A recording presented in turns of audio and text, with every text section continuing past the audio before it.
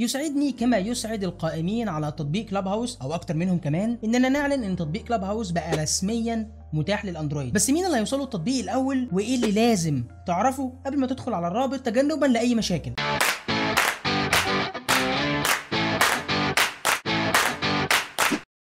السلام عليكم ورحمة الله وبركاته. يا رب تكونوا بخير. أهلا بيكم في فيديو جديد. من حوالي شهرين نزلت على القناة هنا فيديو عن كلاب هاوس شرحت فيه لو الناس ما تعرفش ووارد إن في ناس ما كانتش تعرف تطبيق كلاب هاوس ده بيعمل إيه بالظبط.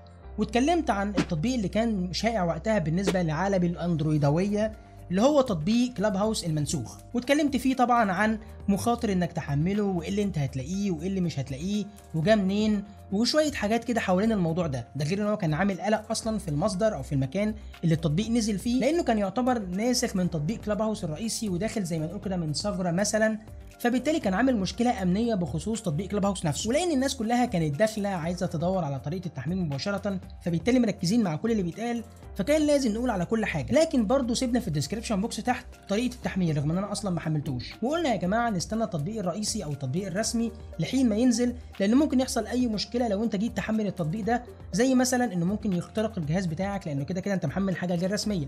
وزي ما اتكلمنا برضو عن شركه وعن أكتر من تطبيق برضو ممكن يوصل منهم إنه يحصل اختراق أو يتعرض البيانات بتاعتك للخطر. إلا إن الناس ما خدتش بالها من كل التنبيهات دي وكل المخاطر اللي ممكن تدخل عليها وكانت مركزة مع تحميل التطبيق. ويمكن ما خدتش بالها من إن أنا كنت كاتبه في ال description box فبالتالي كان فيه هجوم مش طبيعي. المهم يعني إن إحنا قلنا إننا هنتابع لحد ما يكون رسميا متاح للأندرويد. ما تنساش بس إنك تعمل like للفيديو علشان يوصل لأكبر عدد من الناس بما إننا بنتكلم بقى في النسخة الرسمية من التطبيق علشان يستفيدوا منه. وهو ده اللي تم بالظبط إنه طبقا لمدونة Clubhouse نزلوا post من يومين إنهم خلاص بيجهزوا علشان ينزلوه للأندرويد وبعد كده نزل على أكتر من موقع من مواقع التقنية. ربنا نصرني. على ناس كتير جدا بت- بتشكك. وبناء عليه بقى في صفحة خاصة بالتطبيق ده التطبيق الرسمي ده على متجر Play صفحة تقدر تدخل فيها علشان تعمل pre-register بحيث إنك تكون من أوائل الأندرويدوية زي ما كان في أوائل الأيفونوية اللي حملوا التطبيق ده. لكن لكن قبل ما تروح بسرعة وتدوس على الرابط وتعمل pre-register لازم تكون عارف شوية حاجات علشان بناء عليها تبقى عارف إيه اللي هيحصل معاك وايه المشكلة اللي ممكن تقع فيها وايه شوية التفاصيل اللي لازم تكون متوقعها من التطبيق أو من لحظة دخولك والتسجيل على التطبيق. ما هو أصلا ما ينفعش برضه إنك تفضل مستني ده كله أو بعد ما تنزل النسخة الرسمية وتيجي تدخل عليها تلاقي في مشكلة صغيرة تخليك ما تعرفش تستخدمها الاستخدام الأمثل. في الوقت اللي هيكون حقك أساسا إنك تستخدمها لأن دي النسخة الرسمية. فهنعدي بسرعة على شوية الحاجات اللي لازم تكون عارفها. أول حاجة إن في features لسه بتضاف يعني من لحظة ما يوصل لك التطبيق وتحمله مش هتلاقي كل حاجة موجودة عندك. يعني في حاجات لسه زي إنك تدير غرفة أو إنك تنشئ غرفة أو إنك تعمله ربط مثلا بحساباتك زي تويتر أو إنك تغير الاسم. مش إنك تكتب الاسم لأ إنك تغير أو تحدث الاسم. كل الحاجات دي لسه بتضاف تباعا فبالتالي ما تقلقش من حاجة زي كده لأن دي النسخة البيتا. النسخة البيتا هي اللي هتنزل. تاني حاجة واللي أهم من أول حاجة علشان تستمتع بأفضل تجربة ممكنة بالنسبة لك كأندرويداوي وهي إنك تتأكد إنك مسحت التطبيق لو أنت كنت محمله قبل كده اللي هو التطبيق الغير رسمي.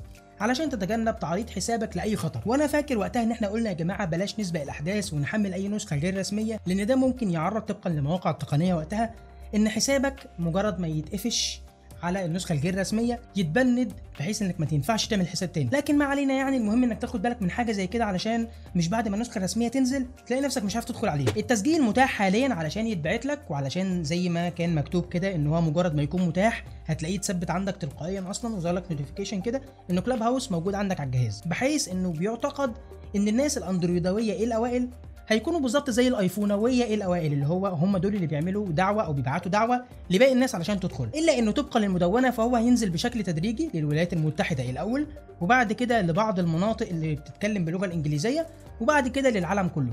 وده بيتوقع خلال أسابيع بحد أقصى. وأخيرا بقى الرابط أو ال link هيكون موجود تحت ال description box بحيث إنك هتدخل عليه وتعمل pre register أو تسجيل مسبق. إلا إني أرجو إنك تكون وصلت للنقطة دي من الفيديو ما دخلتش على طول على ال description box ودخلت على الرابط وعملت pre register من غير ما تكمل الملاحظات المهمة دي بحيث إنك تكون عارف إيه اللي هيحصل فيه.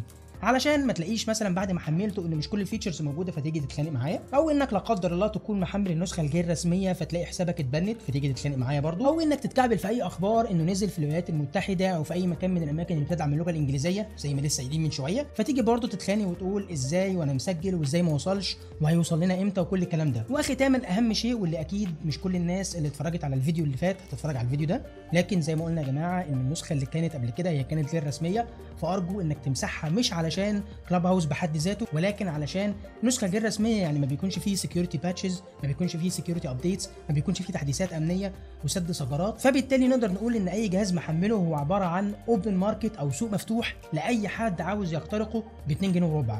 فيا ريت إنك تكون شلت التطبيق التاني من عندك وتكون مستعد للتطبيق ده. وبكده نكون انتهينا. ما تنساش تدوس على زرار ال like اللي عندك هنا. نلقاكم على خير.